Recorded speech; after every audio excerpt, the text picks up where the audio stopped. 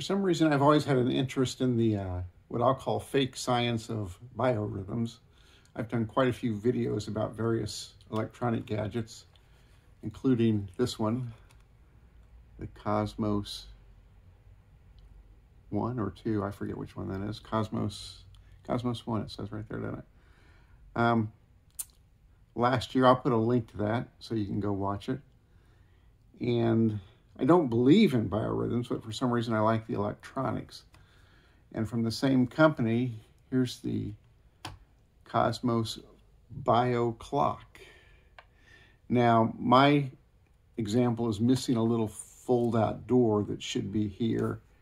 And on the inside of that door would be this little graph here, which would help you read any of the uh, little biorhythm samples they show that have little lines up and down. Um, but that is, door is missing and this is missing. But at least this way it makes it pretty easy to see what's under it. We have our little instrument here with our traffic signals as they call them, and these will light up red, yellow, and green. Spots for six birthdays to enter. The calculator can only do two. This can do six. You can get your biorhythm feed, biorhythm answer. you can compare two people lifetime or day by day. You can enter a date and you can then go forward and backwards through dates uh, to see what people's biorhythms would be. You can set it on manual or you can set it on automatic. In an automatic, each night at midnight, it will cycle through it so that in the morning when people wake up, they can press their biorhythms and it will already, already be set for that day. And they marketed this as saying that it was like families could tell when they were going to be compatible with each other. Employers could tell when their employees were going to be compatible with each other. Sports teams could tell when their athletes were going to be compatible with each other. And uh, down here we have our, it's also a calculator. It can do normal calculator functions, um, for functions. And it can also do world time. It's got a stopwatch feature. It can do elapsed time, stopwatch. And here's, you can set your alarm, have your alarm ready to go on or off. And here you can recall your time or you can recall your alarm if you have an alarm set.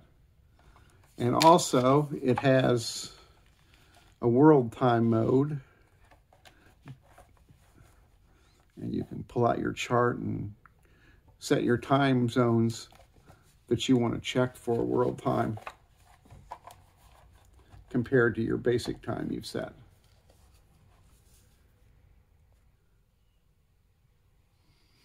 A very uh, enterprising person scanned and downloaded the owner's manual, which I will use as we go through today. I could not have figured out if it was not for this. So I'll link to this and his uh, manual in the uh, video somewhere. But uh, we've got all of the things. That's the white version that came out a year later. I think this is 1970 8 or 1979. So you can see how that would have looked like. Uh, the manual is pretty thorough. Let's get down to the specs page.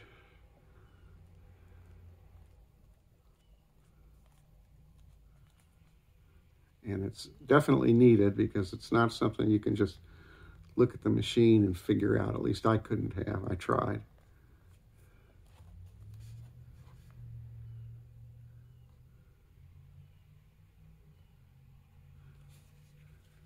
And there's our specifications, uh, if you're interested in such things.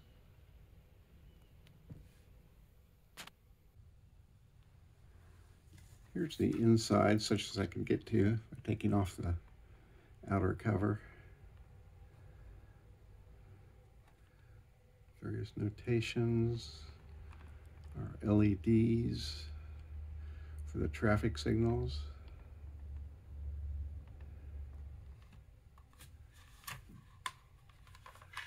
Looking around the back and sort of inside. We have a fuse. A power transformer.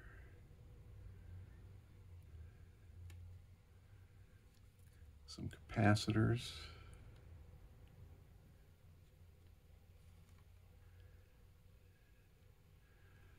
Various manufacturers. Still relatively clean there. Fuse. Chichering. AC 250 volts, 200 milliamps. So that's what it looks like inside. Interesting when you take the cover off, the plastic here has a green tint to it all by itself.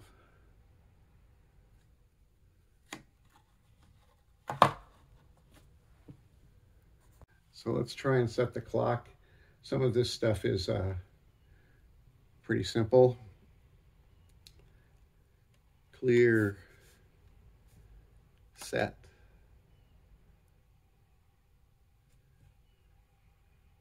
Two thirty p.m. Oops. Set two 30 p.m.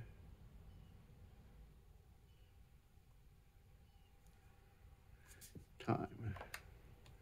And you'll notice we've got 2.30 now and a little indicator on the PM sign.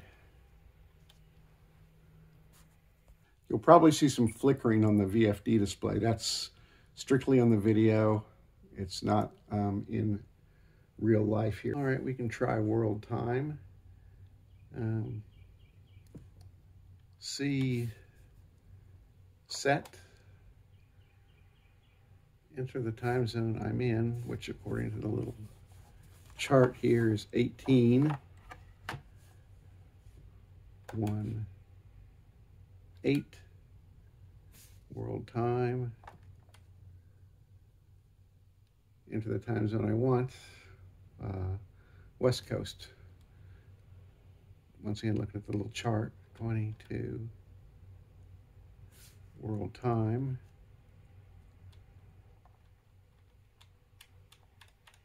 Come on, world time.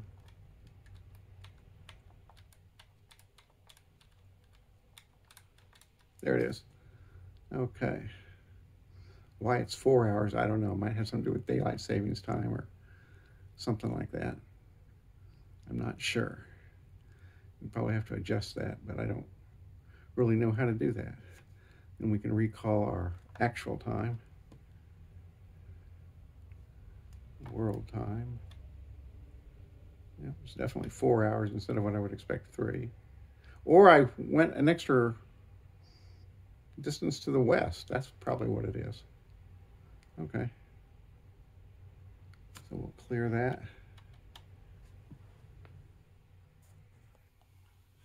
has a stopwatch, although I'm not exactly sure why you would use this. Um, elapsed time, TML. And then it just uh, counts up. You've got seconds, minutes, and hours. It looks like it's a, you know, 24 hour clock essentially. Um, where you can clear it. We'll try and set an alarm. See, set, alarm switch is on. Two, 50 p.m.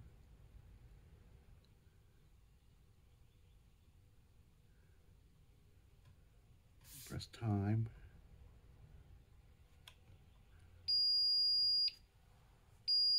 So we just switched to 250. It's a 10 second alarm.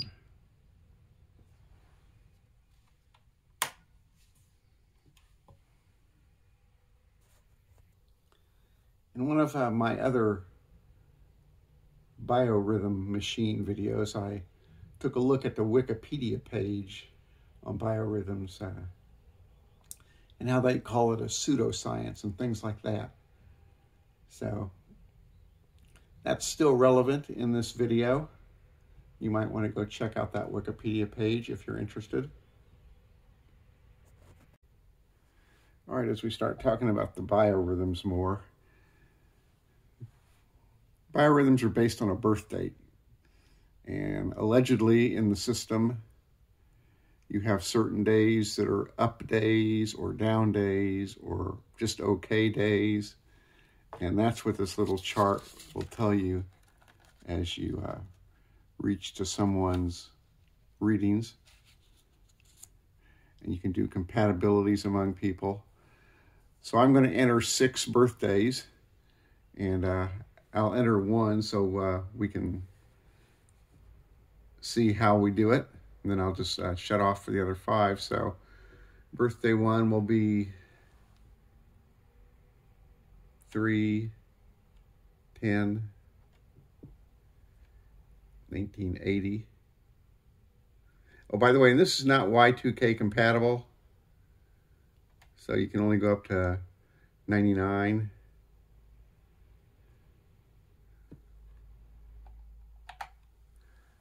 So that's birthday one, March 10th, 1980, and one is whatever day it is, uh, a Monday, according to our chart here. A Monday. So I'm going to enter five more. All right, what we can do with six birthdays plugged in now and looking at the chart, highs and lows and okay days with the traffic signals, we can uh, recall birthday, let's call it birthday two. So that's a fourth day of the week. And we can get that, got two green lights there. And that's their numbers, 4, 7, and 23. Um, you'd read your chart for that, clear. Um, let's recall birthday one and birthday two. And now we can get a compatibility, lifetime compatibility. So this is lifetime compatibility is based on 100%. So physically they're 48% compatible over their life um, emotionally 71%, intellectually 33%, red, blue, and green scales. Now this is their daily compatibility. Um, this is where you really need your ups and downs charts there. To show their okay, up day, down day, two up days, and an up day and a down day for that. So if we put it in automatic mode, it'll go through all of the days and lifetime compatibility and daily compatibility for all of the six people. They're occasionally changing down here and you're getting different daily compatibilities now. Um,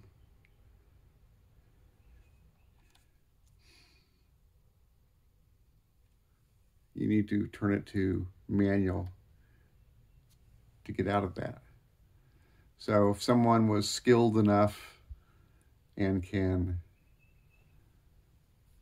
bio, whoops, somehow I aired it out here. B1 and let's get their bio. 21, 3, and 12. You can go forward by days. You notice the middle digit, uh, 25, 26. They're having a bad day there. And a somewhat interesting day there. Now, if you wanted to go back days, you can do that.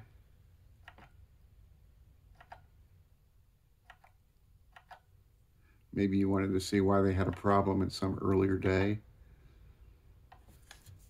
Um, you could check their previous biorhythms if you hadn't already. And like I say, this is all based on charts someone wrote up a long time ago in a book that compares all these dates. I've noticed in the manual that you can figure out how many days someone has lived.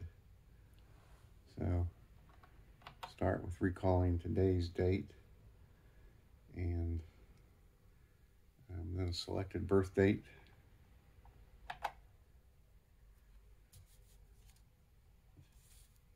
And uh, clear it. And a minus. And the selected birth date again. And that's how many days that person has been alive. Let's try another birth date. Birthday two. Been alive 3,980. 5,645. 8676. That's an old person. 9962. Wow. 2971. There you go how long all those people have been alive.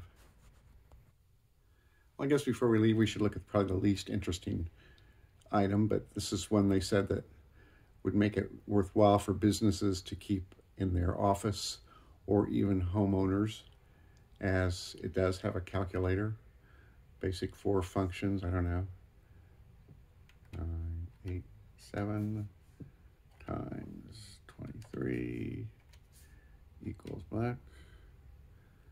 Oops, okay. And does have uh, eight digit display. Oops, I pressed three twice, didn't I? That three key is particularly funky. It tends to uh, double press itself a lot. But anyway, that has been the Kosmos Bio Clock from about 1979. The uh, big brother to the Kosmos One um, biorhythm calculator from the same era. It's kind of a funky science. It's on par with astrology, I think. But people can have fun with them, certainly, as long as it's harmless. So, hope you've enjoyed it. Thanks for watching. Bye.